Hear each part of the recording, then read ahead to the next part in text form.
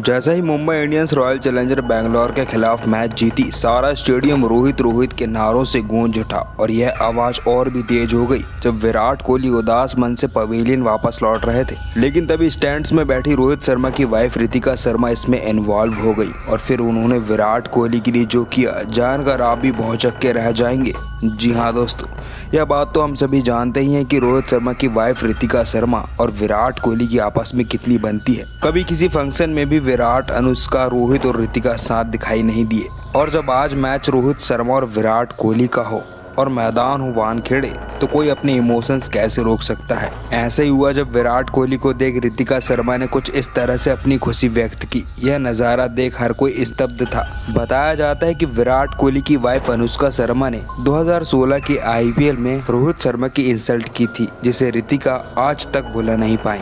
आपको क्या लगता है? कमेंट ज़रूर कीजिएगा। Thanks for watching